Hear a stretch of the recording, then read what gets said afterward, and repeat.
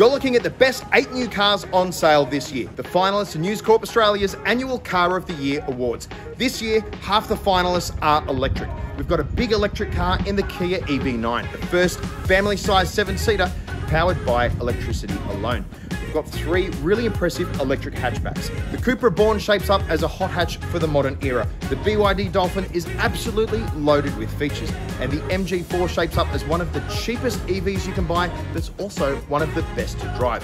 If you're not ready to make the switch, there are three great hybrid options. The Hyundai Kona EV represents one of the most efficient SUVs on the road. The Honda CRV is great to drive, and it really does take the fight to class leaders such as the Toyota RAV4 Hybrid.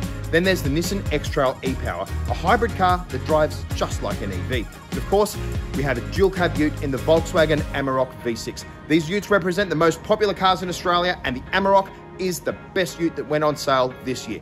All eight cars represent worthy finalists, but only one can be the winner. To find out which is our pick, check back on Friday, December 8.